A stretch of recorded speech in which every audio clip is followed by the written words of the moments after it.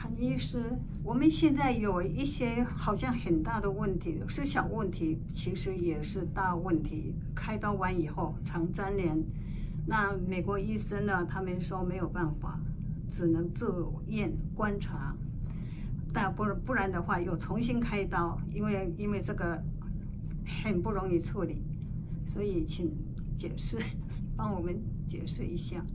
哦，这个大肠。那年呢，就是大肠出问题了。那么大肠出问题呢，有很多大肠的问题需要手术。譬如在美国，这个大肠炎，这大肠炎、结肠炎，目前呢，西方还没有技术可以治疗这一个疾病。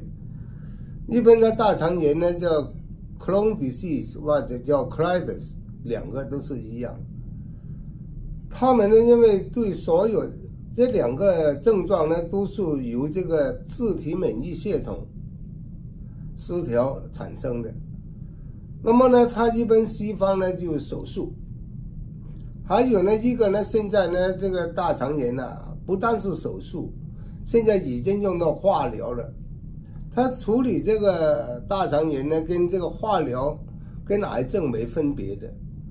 好，他以为一切就完了。并不是，切除了这个炎症还在，他只是切除大肠，这个炎症他没有解决，所以呢，这个呢，我们第一个不是考虑他能忍与不能忍的问题，是怎么处理这个炎症，这个炎症没了，就是能忍了，他还是没事的。一般呢，说医生呢要重新再做手术，但是你再做手术，这个炎症还是没有办法解决。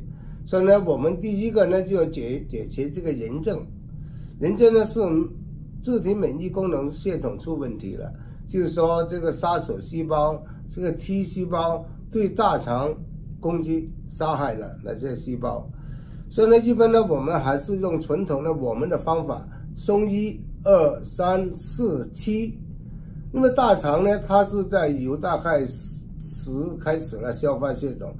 然后呢，松十、十一、十二，在上面一个大肠的呢，就是就是幺一、幺二，就是说在由这个松九、十、十一、十二那里做文章。很多时候啊，它就是这个年龄呢，它切除了大肠，但是这个呢，这个所在点还仍然存在。所以呢，他还没有办法解决这个问题。所以我们最彻底的问题呢，就是说将这个左在点打开。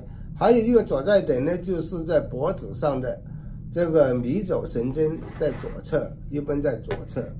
然后呢，我们将左侧这个这个大肠的迷走神经打开了，然后呢，再将这个胸椎，一般呢是在左边的。就第十、十一、十二的地方，还有一个呢，就是阿数穴。阿数穴一般在前前面，看他哪里开刀的地方，就是在哪里给他做做。还有一个呢，开了刀的人呢，他还有一个疤痕的问题，不单单的是年龄的问题。这个疤痕呢，它要它要结结在一起，呀，产生很多不舒服，甚至痛和功能的问题。所以呢，他这个呢也是开了刀。还是有很多后遗症，但是我们的方法呢，解除了这个转载点，解决了这个免疫系统，那么呢，所有大肠的问题都解决了。